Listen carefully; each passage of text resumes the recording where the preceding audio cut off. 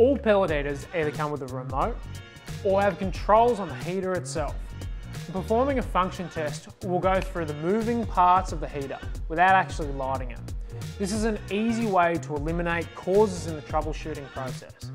For Piazzetta owners with a remote control, go to your technical settings, service code and go to F5.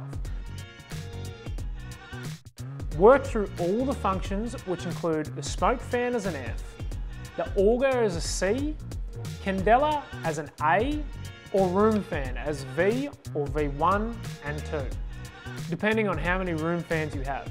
The final sequence is an all systems to check everything is working in conjunction with one another. If you are still having an issue, contact our team for a troubleshooting guide or organise a service call with your local Piazzetta dealer.